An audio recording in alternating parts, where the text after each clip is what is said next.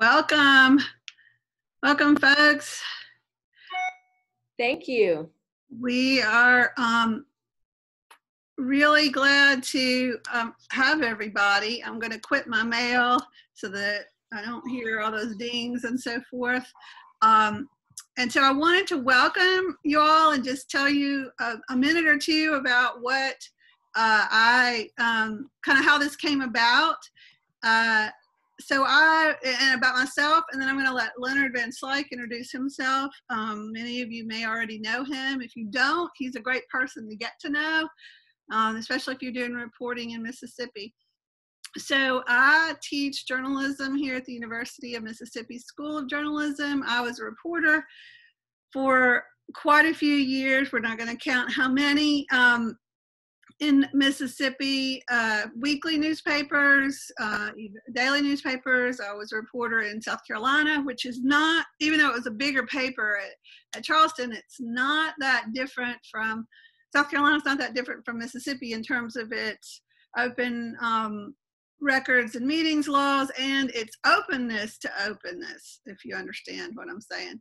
Um, so um, we, uh, so so i have been sort of in the trenches as a reporter uh, trying to get information trying to tell people. I was lucky enough to have always worked for editors who were really committed to this as well and willing to back um, me up at when i'm asking when i was asking for information seeking information. As a and even as a as a teaching journalism um, I try to, and, and, I also am author of a book, so I used some of the freedom of information laws and open records laws when I was doing some of my research too, just to track down, um, it was more history than journalism, but to track down some of the bit of information that I needed.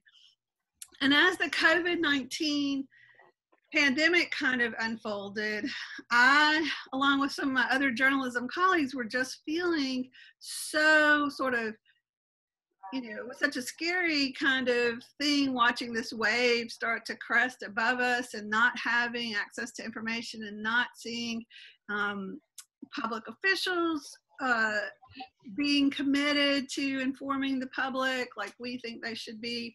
And so I decided to do something about it, which, which was, you know, it makes it so much easier to have a kind of, um, any kind of webinar or Q&A or conference um, with Zoom once I'd taught my classes. So I decided to do this so that because I knew that some some younger journalists out there that I might have taught or or the age they may be like I was when I first started really unsure about what should be available and they might and so I thought who better to go to than Leonard Van Slyke. And um, he's a longtime media attorney. He runs the um, hotline for journalists. Well, it's really the, the big misconception is that um, open government and open meeting laws are just for the press or just for the television or just for the media. Um, and please excuse me if we have some TV reporters or online reporters. Please forgive me if I say press when I mean media. I'm really working on that, but I mean all of you. It's for citizens. It's for everybody. And I used to sometimes when I was a reporter and trying to get information out of a clerk who wasn't sure about what she could give me, and say, "Oh, we can't give that to the press," and I'd say, "Well, pretend I'm a, a citizen." Because I am a citizen, and this law applies to citizens too. Um, so and residents, not just not just people with legal. I don't mean just legal citizen status, but um, residents. So um, I'm going to let Leonard introduce himself and t- tell us a little bit about what he does, and then I'm just going to kind of walk through some of the most common issues, and then I'll open it up for questions. So Leonard, take it away. Okay, Ellen. Uh, just uh, very briefly, I, I was a reporter for several years, uh, last couple of years of high school, all of college, all of law school, uh, with the Hattiesburg American and the uh, Oxford Eagle. And uh, I then, as obviously went, uh, became a lawyer, and I have now been practicing law. Will be 50 years in um, in August. Uh, about 40 of those years I have been representing the media. Uh, and and that, uh, as Ellen mentioned, uh, I, I do handle the M, Mississippi Center for Freedom Information hotline uh, uh, on public records and open meetings. And so you're free to call uh, at any time, uh, and I can uh, hopefully answer your, your question if you, you have a question. Uh, obviously, as a, as a uh, media lawyer, I handle defamation uh, cases as well as access. But access is the topic to, for the day. So uh, let's, uh, we'll move on into the questions. Okay, well, thank you, Leonard. Um, and so one of the things that's come up within the pan- with the pandemic, but it's kind of a perennial issue, is um, but especially with you know the lockdowns and quarantines and social distancing is talking about open meetings and if you could just tell us a little bit first of all what the law says about um, how meetings uh, what like what meetings should be open to citizens and the uh, press uh, things like notification and so forth but just kind of give us an overview of what should it might be easier to say what should be closed than what should be open um, because it might be shorter list because my understanding is almost most every bit of the public business should be done in the public. Well that's correct. That's the the general rule is that uh, every meeting is open unless there's an appropriate reason for executive session so every meeting begins as an open meeting uh, in order to close it, uh, there must be a motion and it must be for a proper reason. Uh, the, those reasons are, are listed in the Mississippi Code. Uh, it's Title 25 41 dash 7, parentheses 4, and then A through L. So it it, there are just a limited number of reasons that uh, the uh, public body can go into executive session. Uh, the most common reasons you will hear are personnel, but uh, personnel and litigation. Uh, but don't just take personnel as being every kind of issue that deals with personnel it, there's some very, it, the, the exemption is very specific as to what types of personnel matters are exempt and what are not. For example, I have had uh, uh, cases where people tried to say oh, providing parking for all employees was personnel. No, it's not, not under the law. So you need to really look at the code section. If you have a problem, give me a call and I will uh, help walk you through that. The other one, the litigation uh, exemption, uh, also is limited to uh, strategy sessions uh, that the public body would be having, for example, with its lawyer. Uh, so it, it, it is not sufficient for a uh, a member of a public body to simply say, we uh, want to go into executive session for litigation. No, they need to tell us much more than that, the court has said. They, they need to tell us what case or uh, that it is in fact a strategy session. Yes. Had, Leonard, let me, I'm sorry, let me interrupt you here. I've had um, boards say they're going into executive session for potential litigation, which is so wide, it's just ridiculous. Or um, so they, they need to tell you what case or specific um, issue that they're talking about. Um, uh, same with um, personnel. I've had them try to talk about giving raises um, right. to broad across the board raises or to departments or um, in uh, executive session and they can't do that. They can talk about, is that, that correct? They can talk about it. That is, that is correct. Uh, in the matter of potential litigation, there must have been an actual demand letter or threat uh, that is real, not just oh, somebody might sue because we are want to expand our boundaries. It's not it's not that generic. It has to be specific to some actual demand that someone's made uh, to to sue. Is that demand letter um, part of open open records? Uh, well, that is an interesting question. Uh, the uh, now the open meetings law says uh, that public records that are exempt uh, are exempt for open meeting purposes, but it doesn't say the other way around. So uh, I suppose that's an open question, but I would uh, I would think so long as a demand letter is uh, just simply that, uh, it should be subject to a public records request. Right, and you can put the one thing that you can do is put the uh, the board attorney on um, the spot and say things like, uh, you know, as an officer of the court, are you um, telling me on your honor that, that you actually have a demand letter? You know, if you're not going to show me the demand letter, are you going to tell me on your honor that there is a true and actual um, demand letter? And, you know, that's not anything you can go and enforce, but it's a way to, um, you know, put them on the spot and try to hold them to account. Um, okay, so so I'm sorry. I may continue to jump in, Leonard, but you go ahead um, about open. What kind of notifications do they need to give if they're going, especially if they're going to have a special meeting or going Okay. to change it?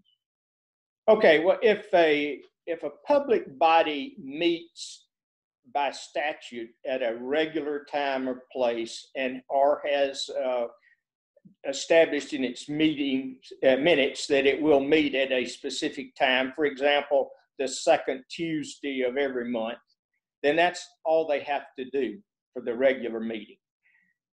In the event of a recessed meeting, a special meeting, or an adjourned meeting, they have to post notice of that meeting within 24 hours of the decision uh, made to hold the meeting. In other words, if we're going to have a special meeting next Monday uh, at one o'clock, but we decide to do that today at noon, you've got to uh, post that uh, notice within by one o'clock today. Uh, also, uh, if you want to be advised by email, you can uh, give written notice to the public body that you want to be advised of any special recess or adjourn meetings or any meetings of the public body. Uh, and they are required to give you such notice. Okay, great. And so do they have to post it just on the door of the courthouse or, uh, I mean, you meant, you covered, the best practice would be to get on their email list. But um, Right. I'm, I know some of them sometimes just stick it on the door and expect you to wander by. Well, that was the, the law until a couple of years ago, Okay. that that's all they had to do is, uh, is post it in the building in the place where they normally hold the meetings. But now, uh, there is that list that, uh, certainly any member of the media or any interested, uh, uh, citizen for that matter, uh, can get notice, uh, by requesting such notice. Okay, great. Um, so uh, after the after if they go into executive session, um, they have to first take a vote to consider executive session. Sometimes this is confusing. They have to take a vote to consider going into executive session and discuss that if there's any discussion in public. Correct? Yes, uh, that's right. There, there's actually a two-step process that they can uh, or really should follow, but uh, I don't see much point in holding them to the first No, part. I'm- sometimes it's confusing if they do it. It's kind of confusing to to reporters. I think. Right. I mean, you they can uh, have a vote to go in to discuss whether or not uh, uh, a particular topic would be appropriate for executive session. Then they come back out, and then somebody makes the motion to actually go into executive session. And that, uh, that vote will have to take place in the public and it will be recorded in the minutes by, uh, by a member.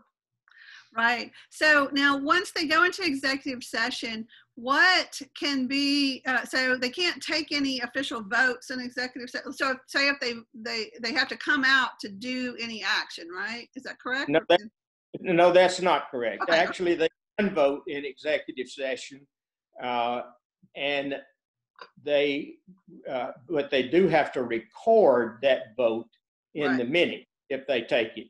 Now, the, the problem we sometimes run into with that procedure is that uh, the minutes don't actually have to be recorded uh, for 30 days. Uh, So uh, they might take an action and not actually get around to doing the minutes or intentionally not do the minutes for uh, till the next meeting. Uh, so that's that's a problem. Uh, the the basic reason for that, as I have, it's been expressed to me, primarily relates to uh, personnel matters, and I, and they say, well, we don't want to fire somebody and that be revealed in a public meeting before we have a chance to tell the person. So that's the rationale, but uh, of course, there are many other uh, issues that are uh, can be discussed in executive session that uh, that uh, really that rationale wouldn't apply. So I would certainly, as a matter of practice, at the end of the meeting, I would certainly ask, uh, although they're not required to announce it. Right. And if you've been working your um, boards behind the scenes, you probably will have one that's willing to tell you, at least off the record, you know, what's going on and and, and trying trying to see. Um, now, and when they have to record the vote, that means they record who voted for and who voted against. Correct? It's not That's- just three to one. That's right, by individual member. It's got to say for, Jones, Smith, and, uh, you know, and, and whoever, and then get the, the names against. So yes, by individual member, they have to record that in the minutes. So let's talk about COVID 19 right now and other kinds of states of emergency like hurricanes and so forth. What kind of leeway do they have, and what should reporters do to, um, you know, kind of counter that or to be ready to, to meet with, to, to see what they're doing?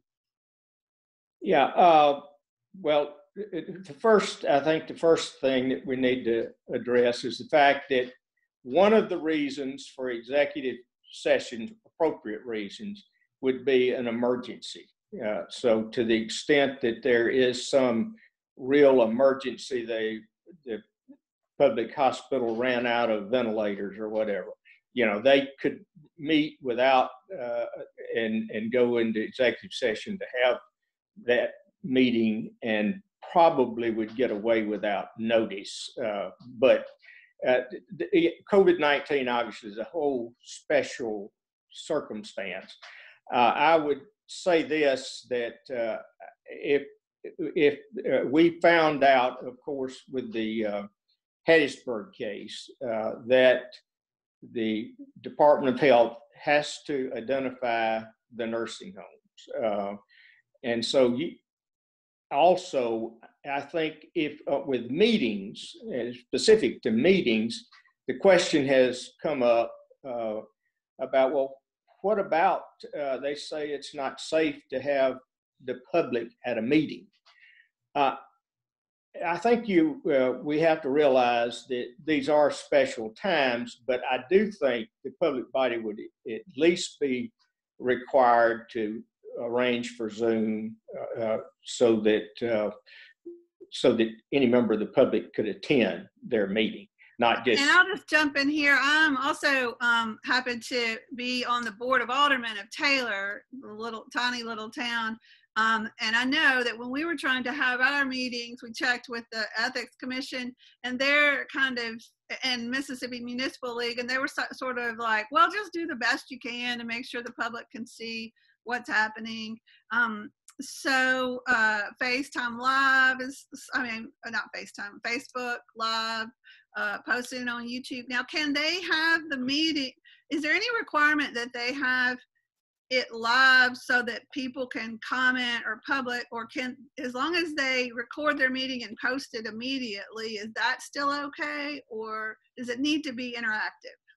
Well, uh, that, of course, it's hypothetical. We, I, there's not been any ruling on this, but uh, I would, I would think to the extent possible, it ought to be live so that people could see and hear it while it's going on. Yeah. Uh, but having said that, certainly uh, public bodies are going to be given some leeway with these extraordinary circumstances.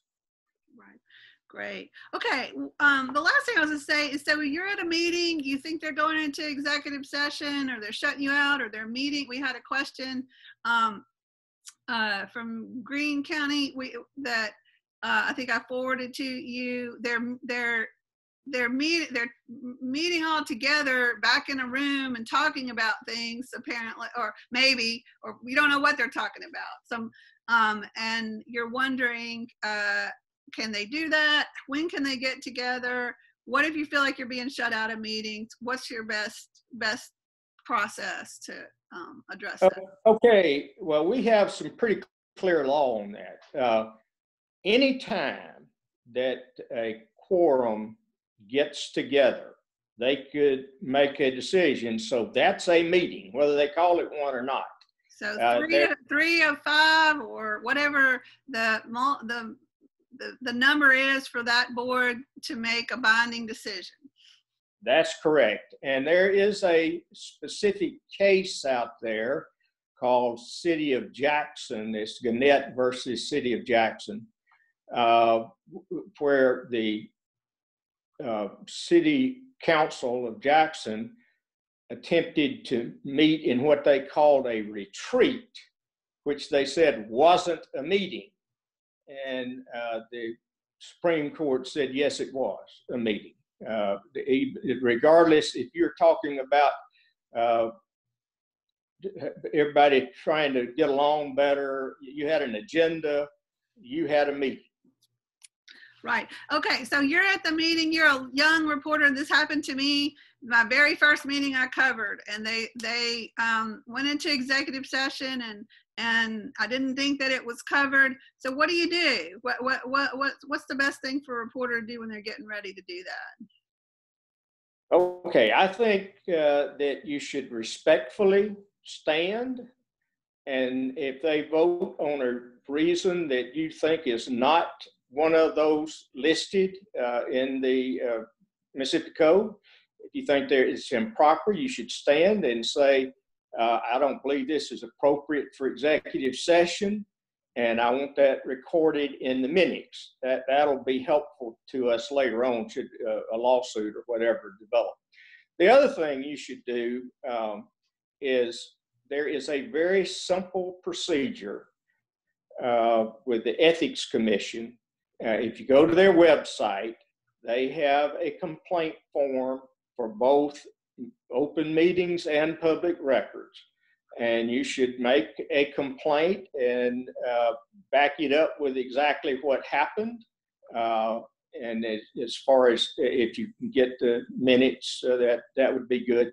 But in any event, re- explain exactly what happened. Then the public body will be contacted by the Ethics Commission, given an opportunity to uh, refute uh, what you said, and uh, then the Ethics Commission will decide. So that's a pretty powerful stick. I don't think people realize how powerful because public officials don't want to be called out by the Ethics Commission.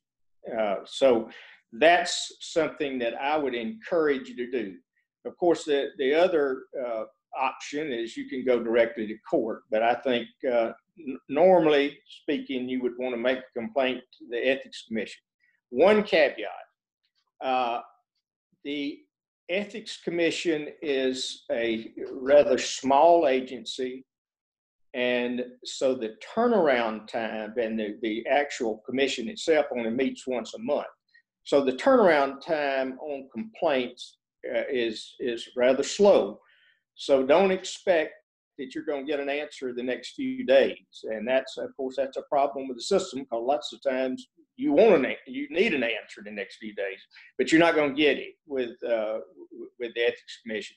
But I would still make the complaint because it will help you in the future uh, when if, if they are inclined to go into executive session for the wrong reasons, they're not likely to do it if they've already been called out by the ethics commission, who has the power to find them and, and do other things. Right. And, you know, you can, um, it's really important to start documenting immediately um, who was for it, who was for again, you know, were some of them willing to let you in and some not, you know, because um, it becomes so so i've covered meetings where they wouldn't let you in and so this that becomes the story and as journalists we are often taught we don't want to be part of the story but um, i had a great editor at the DeSoto times bill bailey who was really great about calling you and interviewing you about you know like so if there if they locked us out of a meeting suddenly there'd be a front page story and an editorial or um, and the same with TV. It's like we're standing outside of this meeting. They've gone into executive session. Here's what state law says, um, and officials hate that. So so you can write about it either editorial, address it editorially, or just as a the fact that they they are not following at least based on your analysis and if you can get someone like Leonard or someone at School of Journalism like Charlie Mitchell um, in our uh, at, at University of Mississippi, and I'm sure there's some other schools to t- just talk in general about what what what is allowed and what isn't allowed. The readers can see. Um, so that's another option you have is to just report about it. Yeah, and that's a very powerful option. Uh, I, I, do want to go back and touch just a minute on something uh, you raised earlier about developing a source on, on uh-huh. the board. Uh, that becomes really important when you're uh, suspicious that the board is going into executive session for the wrong reasons. Uh, really uh, early in the open meetings law, we had a case, Gannett, with the Hinds County Board of Supervisors.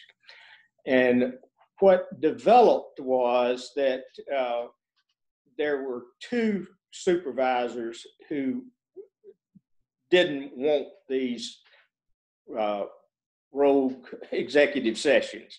They wanted to do it right. Now, they, I don't know if their motives were totally pure or not, but at least they were on the side of transparency.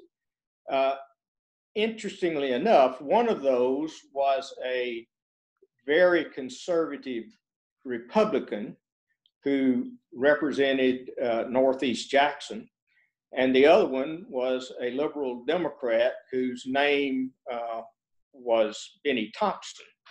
Uh, and they they became the source for uh, for the Clarion Ledger to be able to report on everything that was happening in executive sessions. Uh, they the board got so upset about that that they asked the attorney general for an opinion that they could exclude uh, Bennie from the meetings because he would tell everything that happened. And the uh, attorney general said, "No way, yeah, he's elected. I didn't know that story. Uh, so yeah, that uh, that that actually happened back in the early '80s.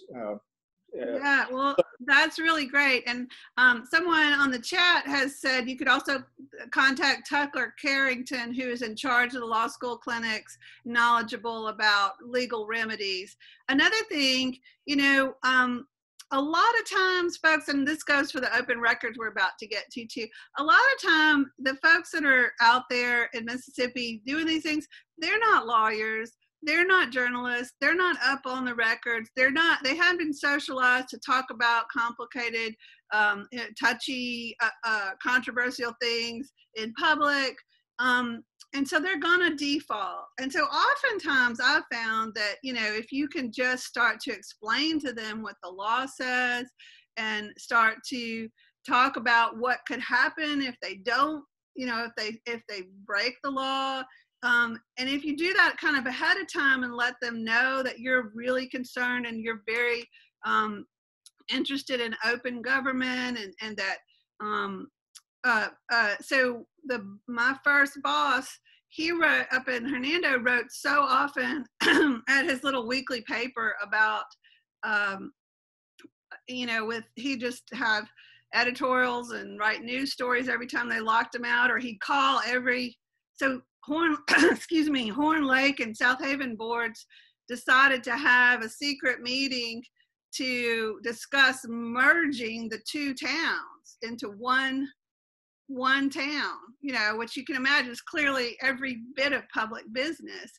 Um, and it was chaired by the chamber of commerce and he called every single board and polled them on whether they thought knew they were breaking the law whether they thought this was a good you know whether they supported it or not and then a few years later, I was covering a board of supervisors meeting. They were talking about trying to go into executive session. And one of them finally said, you know what, let's just talk about this in public because if we don't, Bill Bailey will go crazy. Um, and I thought, you know, so so there are lots of different ways to try to, um, you know, sort of carrot and stick uh, to get yourself um, in those meetings. Um, so I'm going to post at the end of this, I have a slide uh, that has a lot, of, has the information about the hotline that Leonard runs and some other things. If you'll put your email in the chat, um, I can send that to you as well and, and some other information. Um, but so let's go move on to open records um, and then we'll take some questions. Uh, so let's just talk what is not available first because I think that's a shorter list than everything that is, maybe. well, uh, I wish that were true. Uh, the, basically, the, the, public records law, in in my opinion, has way too many exemptions. And what is the the real problem is that they're not in one place like the open meetings law. So the public records law, uh, the exemptions are scattered throughout the Mississippi Code, and so it's a lot harder to get a handle on on those.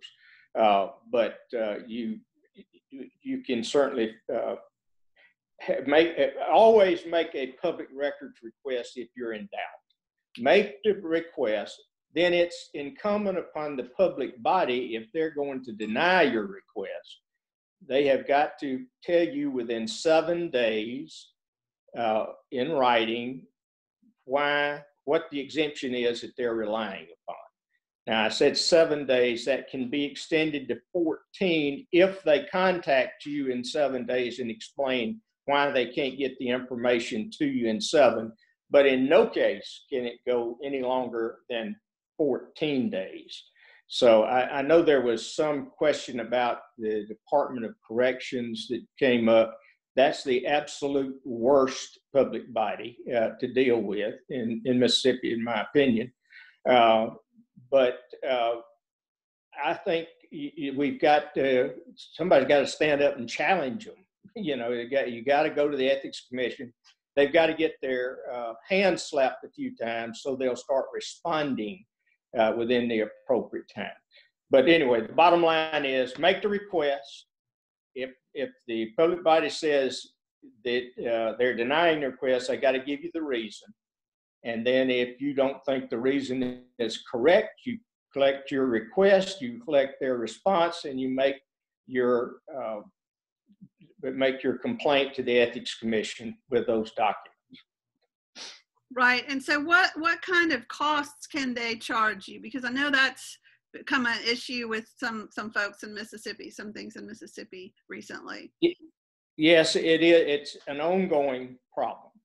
Uh, what the statute says is actual cost, meaning what the uh, what they actually incur in cost.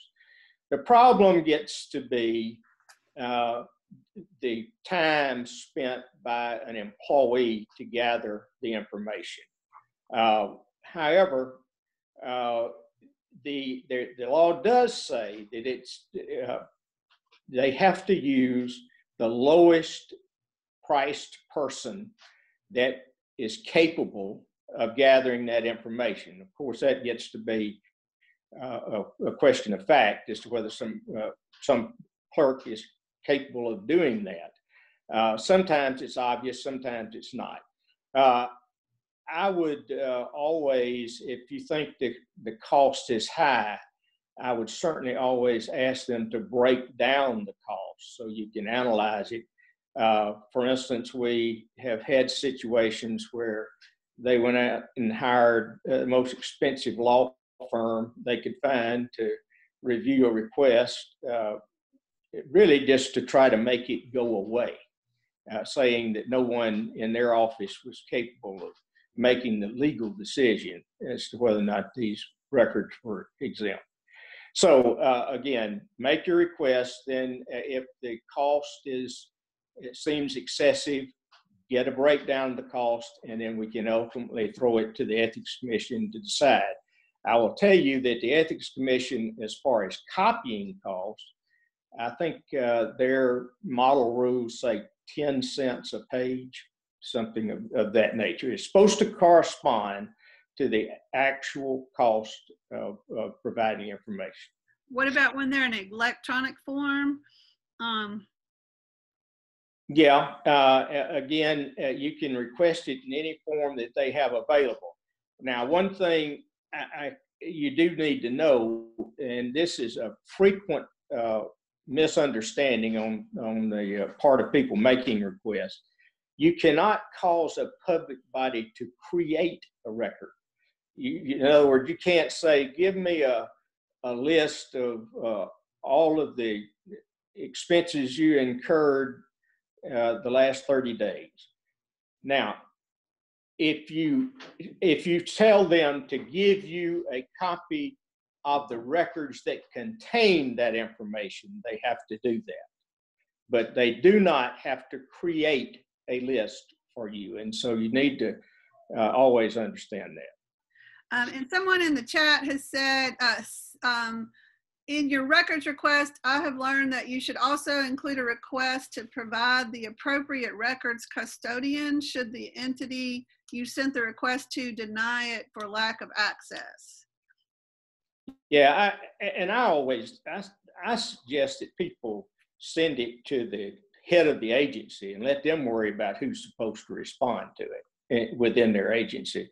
Um, so I, would send it to the director of the agency, and then that way we, we know that person has uh, access to it and could provide it if they wanted to. And again, just like everything, take notes, take note of the date you sent the request, when you got back, if you have any conversations, write down the times and, and who you talked with about it. Um, all of that can be useful when you, if you're trying to seek some kind of redress. Just the more you can document your efforts to do it, uh, and you may, you know, we um, one paper I worked at, there was a very controversial decision by the, and this is not an open records kind of thing, but it was a controversial decision about by the DA, and he refused to be interviewed or answer any questions about it. And so we documented every single phone call and every email for like 50 something days. And then we finally wrote a story about how many your requests for information on this that he had not responded to you know so sometimes that becomes a, that becomes a story and he was furious but he did give an interview after that so um, so you know make it documenting your efforts can be helpful and always submit the initial request in writing. You may right. have some later telephone conversations, but always submit that initial request in writing so you do have the document that shows you did that on such and such a day. Yes, and in the links that I'm going to put you, I'm going to have one to the Mississippi Center for Freedom of Information, and it's got all the statutes and so forth. And so you can even cite those particular, you know, it is my understanding that these are open records and I request under this such and such, and I request that, those kinds of things.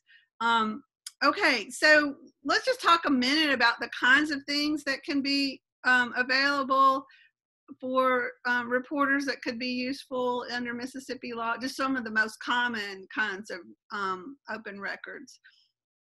Well, I, I, would just, I think the, the first thing to note is I would assume everything is open until I am uh, advised otherwise. Uh, I mean, there are some things you know, you know, that it would be foolish to ask for, like uh, the personnel record, uh, you know, of an employee. You're not going to get uh, that's that is obviously uh, protected, but that uh, that one, the personnel record, is the only one that says it shall not be provided you. The other things are actually discretionary. They they can use the exemption if they wish to, but they don't have to. Right, right. And I've I've covered different police, and I'm about to get to the police. I've I've covered some places that under the Mississippi under Mississippi law, the police chief is happy to give you the you know report or something like that or, or another official in in in one agency and then you go to another county and they don't. Um, so yeah so they do have some discretion um, in, in that uh, and um, sometimes they don't even realize that themselves. They'll just they take the easiest path of least resistance. Um, let me ask you this about personnel. So a lot has come up with all the issues about um, law enforcement and questions about brutality and racism and those kinds of things. Obviously, the individual personnel record of a police officer is not available. Um, but what kinds of disciplinary, like, if um, can you ask for how many officers have faced disciplinary um, without the names, or what kinds of things could you could you get to get a picture of that? Well, again, uh, you know, the, it's uh, it's a matter of of whether or not they are willing to do it. You you can't have them create a list of how many, but you can if you have if they have information that meets your request that, that is contained in a record, they can always redact information that you're not entitled to. The, the problem you're generally going to run into with those types of things is they will invoke what's called the investigative uh, exemption. And that is, uh, there's a, a big hassle about that and what's investigative and what's not. When does it stop being investigative or does it? I've had an attorney general uh, argue with me uh, 20 years or so ago that uh, once an investigative record, always an investigative record. Doesn't matter. Uh, they, if they don't indict, or it doesn't matter if they convict. An investigative record retains that character. I, I don't believe that should be the law, but but very frankly, there's not a case that says it one way or the other. What you're always entitled to is an incident report. Mm-hmm. Now that's a pretty pretty bland document, uh, but it uh, sometimes, uh, particularly in small towns, uh, they don't create a separate incident report. So you might get uh, a full report with redactions. Uh, if you ask for the, you're always entitled to that incident report, which is basically uh, who's involved, what the charge was, and where it occurred, and if there was any property, what uh, stolen or whatever, what that was. What about the jail docket? Can you talk about that? Because I know sometimes you can track down what's happened by going to the jail docket. Actually, access to the jail docket preceded the uh, Public Records Act. So yes, you you are entitled to that. Um, so, so you could go over to the jail at any time and say, I want to see the docket of who's been arrested and who's been and what and, and what all is going to be on that for them. Tell them. Yeah, it who it's who's who's there. I, I, I suppose I don't know that there is a spe- specific format for a jail docket, but obviously the names of the people that are there are going to. Yeah, right. And usually, well, the ones I've seen, at least here in Oxford, have the names uh, it's been a little while. Uh, the arrest, uh, what they're like, the charge that they're there, um, and when they were brought in. Uh, at least I think it's. Um, yeah, I think that would be pretty common format.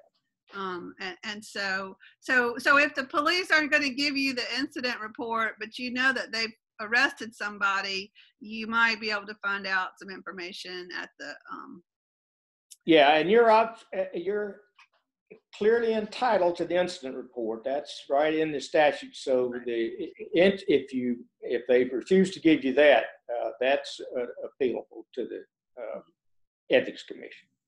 Okay, great.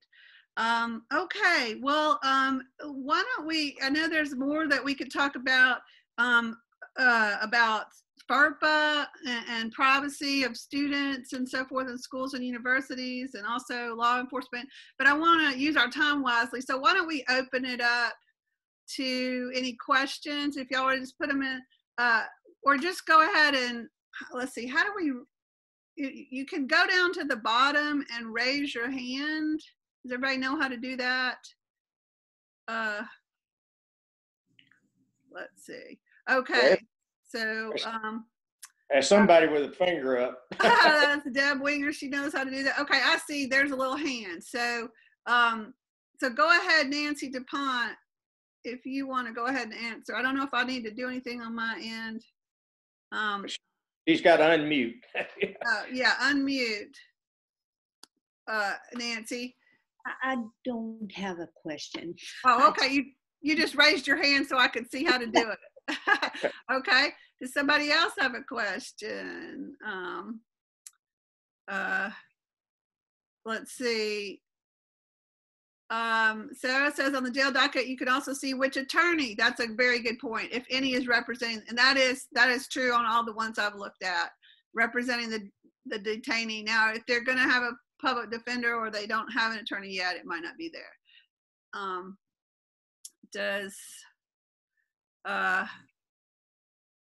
um so do material one person writes um section 40 25 41 5 3 provides that materials will be distributed to members of the public body shall be made available to the public at the time of the meeting. Um, did those materials include a monthly email routinely sent by the executive to his board before each scheduled meeting that presents and discusses items on, like the packet, I think is that, you know, before our, our alderman meeting, we get a packet every week of material, I mean, month of materials. Yeah, I, I think it, the intent there is that it uh, include materials that are going to be discussed uh, in that meeting. And uh, that would be the, the packet that uh, all of the aldermen uh, receive. Right, and they could remove, if they had a packet about a specific employee or a lawsuit, they could remove that. But everything else, rezoning information or um, mayor's report about some proposal or something like, all of that should be a public record. Yes. Part of what they include to you. Um, so I don't see any, I'm not seeing a- any hand raises right now. Um, somebody says, I missed this. What are the data sets we should be thinking about accessing this fall as schools go back in session? That's a great, um, that's a great question. And, and I, I'm sorry, I didn't understand. What, what is it that they want? Uh, I to was just saying, so what are the data sets? So like if they have, um, and Deb, if you want to add some more, um, uh, the, um, data set of, um, what, what are you thinking, De- Deb, and specifically, what should we think about accessing this fall as schools go back in session? What does she say? Uh, it Said, oh, you I need to unmute? her. She can't. Let me Yeah. unmute everybody. Yeah, Um, right. Yeah, do that. uh, cause I'm sorry, I'm obviously not a, a Zoom. Um, uh, well, Okay, I think it- you did it. okay. Um, my husband would love to have this feature, I know, but uh, in terms of the question, um, you know, I, I it seems like it's always difficult to get rapid reports from school systems and or universities. You know, they uh, is there a way? I mean, I'm sure they're going to have to be tracking what the COVID 19 situation is within the public schools, within the universities, broken down by school and university or by district. Um, you know, what could we be doing now to prepare to get that information? Well, I, it's, I think uh, first, first thing is obviously anything that uh, exists as a record, you're entitled to. Uh, I would think that uh, that's not otherwise exempt. Uh, I would think that they would be making plans now for how they were going to reopen. For example, are they going to go have two different sessions, a morning and an afternoon session with different students? Are they going to discontinue virtual learning or, or what their plan would be? I, I, would think that within the next uh, 15 days or so, they're going to have to make a decision on that. So I, I would certainly think those records would, would be important. Right, and what they are be pulling, like what what what have they compiled to make those decisions? And I think Deb is saying, like, so if they're monitoring number of infections, how do we? We don't have to know the student or the uh, employee or the teacher, or professor's name, but if we've got X amount, can we get to how many infections do we have at the local elementary school or how many infections do we have in the school district reported? If there's a document, a, a writing that contains that information, you would certainly be entitled to it including email. So we've got we've we run into this here um, at the university. Uh, so emails. Um, talk about how email um, com what what emails are available and, and those kinds of things. Um, well, I'll, uh, I'll have to to compliment uh, Robbie Ward on that one. Robbie is no longer in Mississippi, but he, when he was with the Tupelo newspaper, asked for the emails. I, I believe it was the mayor, and it was declined. But the ethics commission ruled that any email uh, that's created by a public official uh, is uh, a public business. Uh, it's it's available. So uh, that's one thing that public officials and uh, Ellen, I would think you as a public employee, that's something they certainly need to be aware of. That if, if they're making an email, that that might show up somewhere. Right. Uh, as a matter of fact, uh, one public official, uh, and I'll, I'll, choose not to say who it was, but uh, it, it, it, was learned that he was having an affair from uh, a general email request.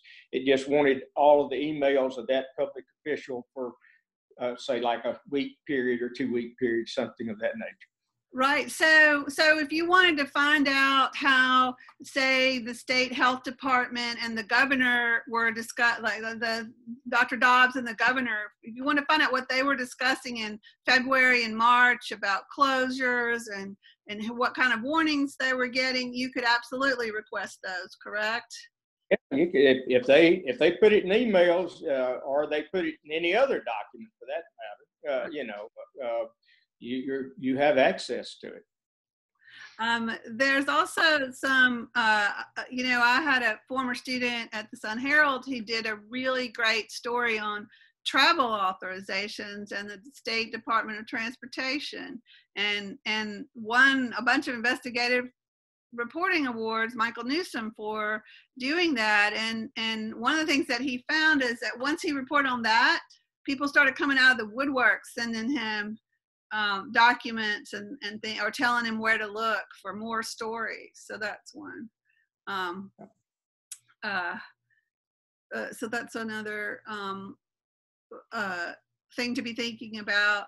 Uh, so reports, you know, oftentimes school districts will do reports on drug and alcohol use among the student body, or there's all kinds of um, documents and things that uh, public bodies prepare uh, that can be great sources of stories that are open records. Um, uh, now, uh, so the university often hides behind um, privacy and FERPA for uh, students. And so what are they, and school districts as well, what are they legitimately under the law can they withhold and what what what are they what do they need to be giving us Well, uh, that's uh, a really good question. It's, uh, and, and I, I can't give you a really great answer to it because it's still an open issue. But uh, I will say we have been able to get some records involving uh, athletic departments uh, and disciplinary proceedings, uh, not individual names, of course. Uh, right but and and clearly we're not entitled to the, the academic record of the student. I think that's what FERPA was intended to protect. But but the problem is that uh, what you will hear from schools, universities in particular, is they could stand to lose all of their funding if they uh, give you a record that uh, that the Department of Education later decides was not appropriate. So they just take the, the uh, easy way out and say, no, you can't have it because of FERPA. So right uh, it, it, you're going to have a tough time uh, with the university on that issue. Uh, also, universities are notorious for hiding uh, donor records. yeah Uh, and uh, I, you know, I think that those should be available. What they will claim with those, uh, they will claim that the foundation is a private corporation. Right. And uh, other states, in, in some other states, it has been decided that if that, uh, if the overall body, the university, would have to uh, would have to do that function, uh, but for this uh, private entity, that that should be considered a public body for the purposes of records. Uh, but uh, I can guarantee you, if you send a request today to the University of Mississippi Foundation, you will be denied, right. and as as well as the athletic Foundation. has anybody taken that to court not in Mississippi. Uh, that and that, you know, I, I, I've long, longed for somebody Right. to. Uh, but it, you know, it's it now it is very uh, unusual for uh, newspapers to to go to court, and they're about the only ones that ever will. Uh, Yeah. we uh, when back uh, a few years ago, uh, it was very common. We would, Yeah. uh, but now with the financial issues, uh, it's it's tough. Uh, well, I think, you know, and one thing I would want to encourage the folks on here is to think about joint filing. You know, if you've got other, even a lot of times I've been, there's not that many places, unfortunately, these days where there's more than one reporter from more than one entity covering something, unless it's, uh, you know, Jackson or one of the cities. In a lot of these counties, you might be the only one. But, um, you know, I competed against a lot of reporters, but as soon as they started encroaching on open records or open meetings, we, you know, we stood shoulder to shoulder. And so, uh, you know, if somebody is willing to, like, especially with these health documents or some of the statewide things, if you've got maybe, if you could share the costs across um, uh, multiple news organizations to join it, um, I would encourage you to do that. I worked for a paper in Charleston, and you know we had a we had an attorney on retainer, and lots of your news organizations probably do. They need to do something to earn their monies. Get them to write a letter for you, if nothing else, or make a phone call. You know, ask your boss if you've got an attorney on uh, retainer, and if they're willing to, because sometimes that'll that's all it'll take. Because those other places don't know how far you're willing to go and when they get a call from an attorney there um, they'll they might back up a little bit um, uh, is that sound advice uh, Yeah, I, I mean, absolutely. I, I have, uh, I've, I've represented the Clarion Ledger for many years, and I've written uh, many of those letters. Right. well and i'm a lawyer's daughter and my brother and uncle and everybody uh, uh, lawyers all over the place but um, the first thing they tell me is don't ask your attorney or any attorney can I do this? Ask them, how do I do this? Because their easiest thing to say is no. So whether you're talking to a board attorney about getting documents or open meetings, or if you're talking uh, to your own attorney, say, this is what I want, this is what I need, how do I get it? How can I get it? Um, so anything else that anybody has, please put your emails in the chat. I'm going to save the chat. Um, and let's see, I see one message. Oh, yes. And I'm going to send your, let me put the slide, share the screen with the slide uh, um, with the information and I'll email it too. But it's just some websites. Where the heck did I? There it is. Um, uh, let's see. Um, desktop. Uh, no, that's not what I'm. Wait, share. Nope, that. Uh, Yeah, there's something says our yeah, government. Don't judge. I do a lot, this a lot better with my classes. I've forgotten how to do it. Uh, Deb's Deb Wenger's on here. She's our dean, and I'm like, don't judge how I'm zooming by how I'm running this, uh, how I'm teaching by how I'm running this. But here it is, and if you'll put your um, information in the chat, I'll save it and I'll send you some emails. I'm also uh, thinking about doing a couple of other ones of these little sessions about reporting on local government or other special topics. So I may be emailing you for suggestions or polling to see what people would like to see. So, um, uh, but right here, you've got the Mississippi Center for Freedom of Information. It's mcfoi.org.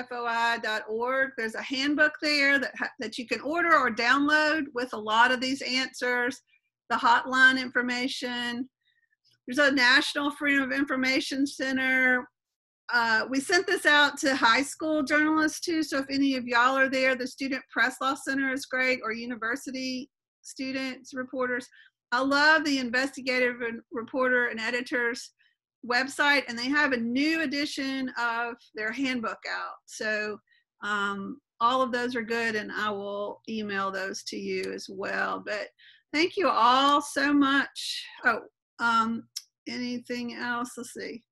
Uh, thank you all for for coming and for all the hard work that you do. Thank you so much, Leonard, for um, your great insight and being willing to jump in on this for me. And um, uh, we will um, hopefully you'll get some calls from your hotline because I want to know more about this whole COVID nineteen thing.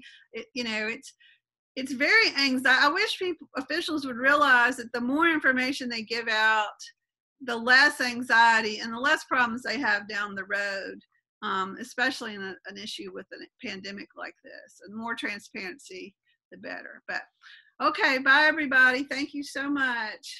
Bye.